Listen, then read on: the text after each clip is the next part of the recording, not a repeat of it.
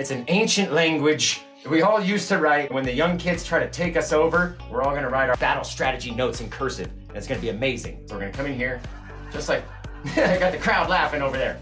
Just like that. We come in over here and mix it up. Like, why are we watching this guy? He just ruined the whole painting, right? Okay, tell me when it starts to look like a cloud. Let's see, does it look like a cloud now? Anybody? What about over here? Come down. We're starting to see any cloud shapes just by making little teeny tiny circles and blending our paint on the smallest little bit. Sometimes we gotta push a little harder to get those little lines to go away. Down, then we come up into the moon because it doesn't all have to be the same.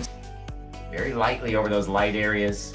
Right? It'll start to grow. So we decide how much pressure. Look at those deep, dark blue clouds back there. They're awesome. Take this guy, start to pull him away, pushing on it so we don't lose that little shadow behind it. Grab him down here, push. A couple little rotations, pull it down. Whoosh.